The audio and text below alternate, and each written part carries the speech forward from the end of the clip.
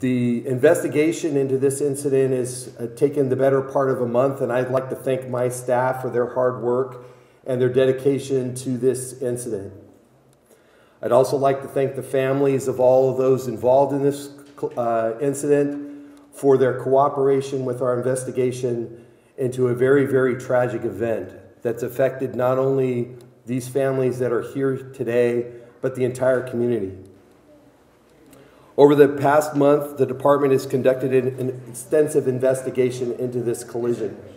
This investigation is still ongoing, but the department feels it has enough information to make the following uh, set of conclusions and an announcement. Alcohol was not a contributing factor to this collision. Cell phone use was not a contributing factor to this collision. The vehicle at the time of the collision was not traveling in excess of the posted speed limit. What we know is that the vehicle made an unsafe lane change that crossed over two lanes of juniper, left the roadway, and put itself up onto the sidewalk, causing it to strike the two pedestrians from behind. Those pedestrians were killed instantaneously.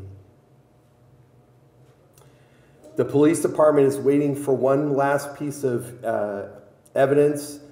Uh, blood that was recovered at the scene uh, from the driver of the vehicle has been sent to the Department of Justice. We've cleared it for alcohol, but we have not cleared it for any other controlled substances. Uh, those results are pending. We expect to have them probably in the next couple of weeks. Based on the information of, in this report, the department will be requesting two counts of vehicular manslaughter be filed with the Merced County District Attorney's Office in this case. That report was sent to the District Attorney's Office yesterday. We expect a charging decision within the next uh, week or so. Well, right now, the data collection piece is has been the most important part of this investigation, right? We need to be able to show that we have some sort of criminal liability, not just your normal civil liability that you'd see in a traffic collision that you would normally report on a daily basis. We have a vehicle that made a movement that was no apparent reason for it. That vehicle left the roadway. That vehicle took the lives of two people. Um, so you have to consider the criminal part of that. Billy's head and face were injured so badly that we could not view her or say goodbye. We could only hold her hands. Because of an app on our phones, I figured out something was wrong and went to find Billy. When I arrived on the scene, their bodies had already been removed. Unfortunately, I saw the blood from my wife on the sidewalk and it was an image that will never leave my mind. Friday night, my daughter and granddaughter left, and for the first time I walked back into that house by myself. The kids were all gone.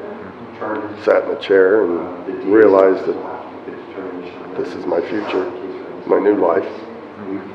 Quiet, no sound, no people, no Billy. I didn't like it. That morning, I lost my wife, my best friend.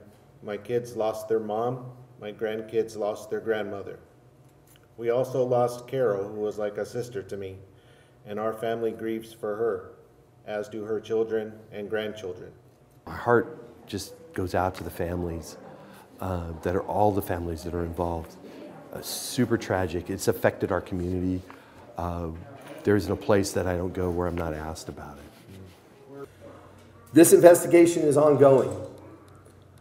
And if there is anybody out there listening to us today that has information, please do not hesitate to contact the police department at 357 6384. Ask for Detective Sergeant Dave Brum. He's our lead investigator on this case. And no bit of information is too small.